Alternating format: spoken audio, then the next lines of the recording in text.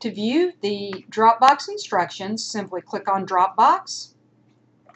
Look at the project names, not the attachments, but the project names. You'll notice this one is closed. I'm going to move on. I'm not interested in the attachment. This one, also closed. There's an attachment I could read, but I'm not interested in that.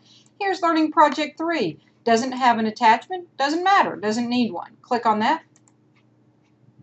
Now I'm on the Learning Project 3 page. Here it says Learning Project 3, tells me what I should do, tells me here's the assignment instructions. This is exactly what I need to do. So these are the instructions for writing two paragraphs and all that, and you can read through those. I hope that helps.